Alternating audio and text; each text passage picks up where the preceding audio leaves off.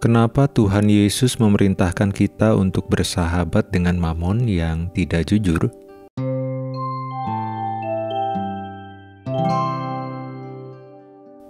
Sahabat Alkitab, pertanyaan tersebut dibuat berdasarkan ayat yang tertulis dalam Injil Lukas 16 ayat 9. Dan aku berkata kepadamu, ikatlah persahabatan dengan mempergunakan mamon yang tidak jujur, supaya jika mamon itu tidak dapat menolong lagi, kamu diterima di dalam kemah abadi.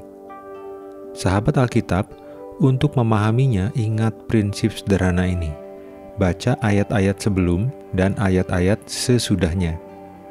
Setelah membaca ayat-ayat sebelumnya, kita mendapat informasi bahwa ayat tersebut merupakan bagian dari perumpamaan Yesus Kristus tentang seorang bendahara yang tidak jujur, tapi cerdik.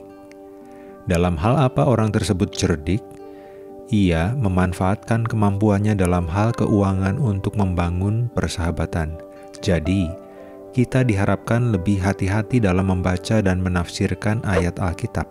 Perhatikan bahwa dalam ayat tersebut dituliskan bahwa kita diperintahkan untuk mengikat persahabatan dengan mempergunakan mamon atau kekayaan dunia, di antaranya uang, bukan bersahabat dengan mamon. Tentu Yesus tidak menghendaki cinta uang dalam hati kita. Yang ia mau kita lakukan adalah mempergunakan uang kita untuk membangun persahabatan, memberi atau meminjamkan uang dengan murah hati. Injil Lukas 6 ayat 36 Hendaklah kamu murah hati sama seperti Bapamu adalah murah hati. Lebih jauh tentang membangun persahabatan atau mendapat kawan dengan mempergunakan mamon, adalah supaya orang-orang yang kepadanya kita berbuat baik dapat diselamatkan jiwanya. Dari mana kita mengetahui hal itu? Dari perkataan Yesus Kristus sendiri tentang kamu. Ini jamak, plural, diterima dalam kemah abadi. Kita bersama dengan mereka memperoleh kehidupan yang kekal karena akhirnya perbuatan baik yang kita lakukan tersebut menghasilkan kerinduan di hati mereka untuk percaya dan menerima Yesus Kristus sebagai Tuhan dan Juru Selamat tentunya. Menarik sekali. Ditambah lagi dengan perikop-perikop sebelumnya dan sesudahnya berbicara tentang tema keselamatan.